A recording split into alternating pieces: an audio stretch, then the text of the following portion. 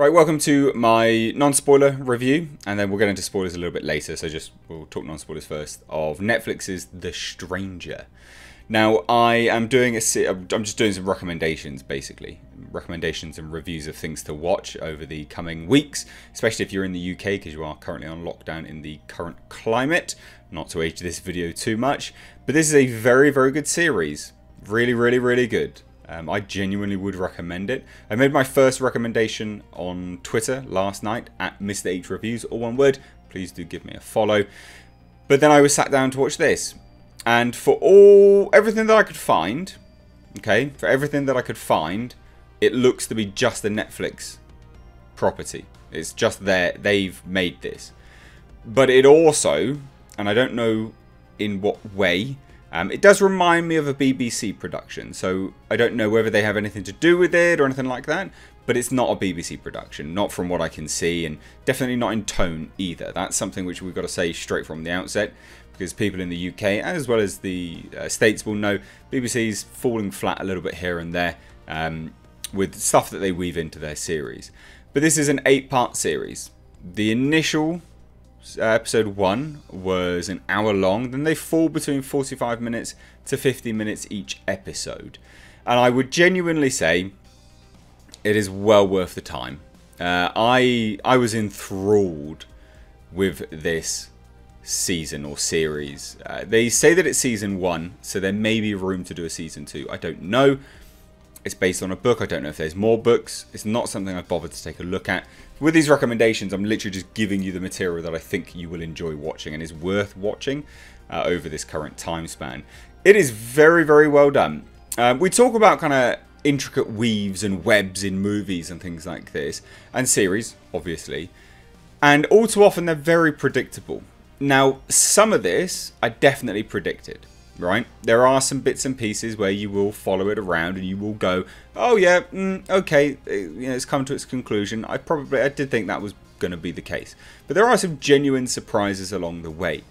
And even the things which you do predict are not done in a, oh, it's a reveal, like, oh, be surprised. Um, they don't really dumb down the audience. They don't take the audience for fools. And they are delivered with you know a level of satisfaction. Um, the lady here, Hannah John, uh, the actress's name is. She was in Ant Man and the Wasp. Hannah John Kamen, very good, um, really really good, great on screen. Has has a genuine on screen presence, and and I will say this: I think it's probably maybe because she's been in a Marvel movie, but she has Hollywood looks. Um, and, I, and I think she, when she's on screen, she has a presence about her that you want to watch. Uh, and especially as this sort of, because she is the stranger. If you've seen the trailer, she is the stranger.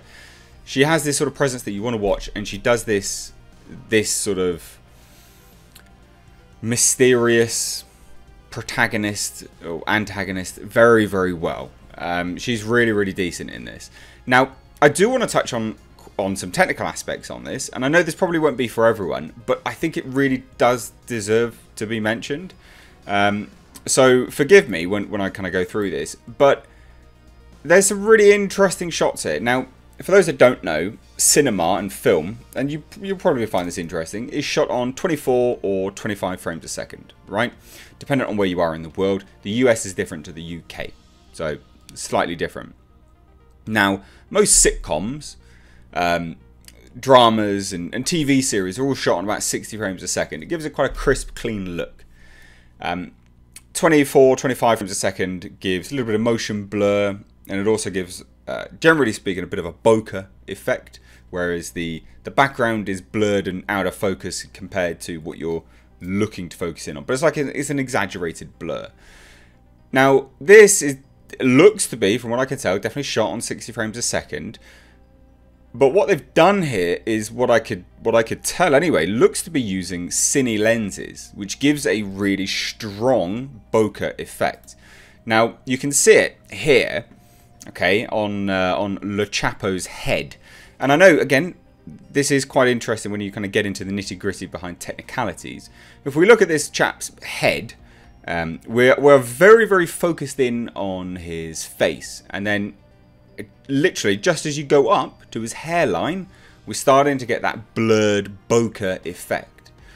And now, this, they would have had to have used quite an expensive lens or maybe some kind of add-on filter to get this effect. And it's, it's a really, it's a stylistic choice. Doesn't always work, um, but it is definitely unique from what I could tell. Um, this particular one does actually work, it's not that bad. But then I've got another one, which is an example of where it definitely doesn't work, and you'll see exactly what I mean, um, is this one. Now, he's in motion here, so forgive the low res, but he's in motion. He's the character in focus at present. And you see the little dot in the background?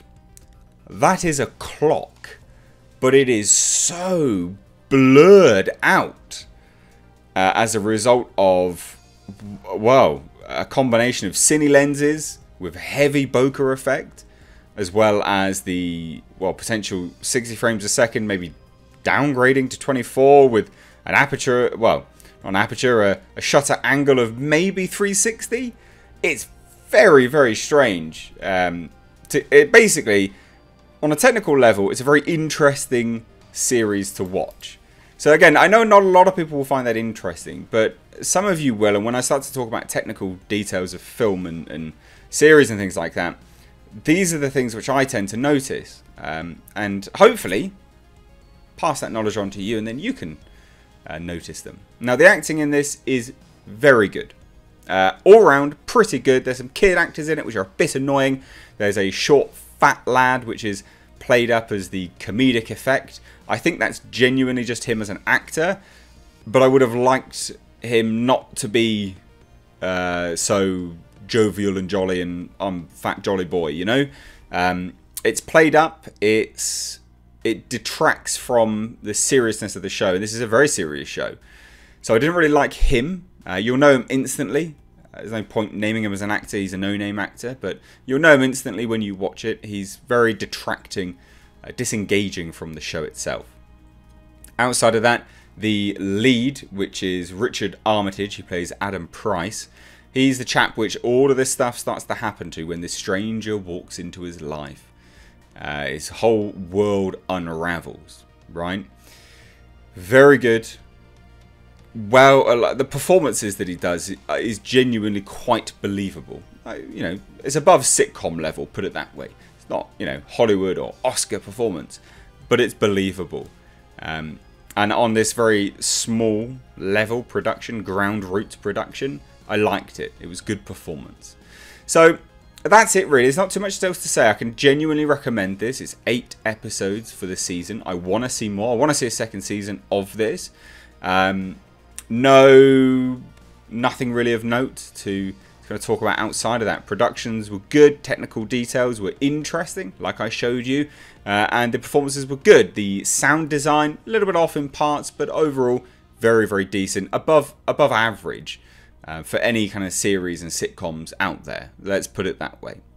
Now, we'll touch on a brief little bit of spoilers, but if you are new here and you're going to go, because we're going to be touching on spoilers now, please do hit subscribe, please do share this video, and please do like it. But that out of the way, let's touch on spoilers, because I do want to get into the nitty gritty of kind of what happened and why, um, and why I think the reveals are interesting. So there you go, you've had your spoiler warning. Let's get into it. Um, so she turns out to be his sister. And this I could see coming off from probably about episode 7 um, slash episode 6. There was some slight reveals and hints here and there where you go, oh, that's probably what they're teasing. Um, but it was not done in a ham-fisted, gratuitous fashion. It came across really, really quite natural um, and progressed nicely. I really do like the the way that they kind of stitched everything together for why certain things happened, why this happened there, and how it all kind of just came together into one big reveal. I really did like it. I thought it was a very, very good uh, series. And it's not too often nowadays, and I'm sure you're the same, that you are surprised by bobbing and weavings in narratives and stories. But I think you'll like this, and I think you'll be surprised. Um, and it's all, it's just well worth the watch. well worth wasting like 8 hours of your life on because you're on lockdown. But anyway guys, thank you all so very much for watching. There's nothing else really that I want to cover in this review. But thank you so much. I hope you did enjoy it. And as always, with Mr. H, take care.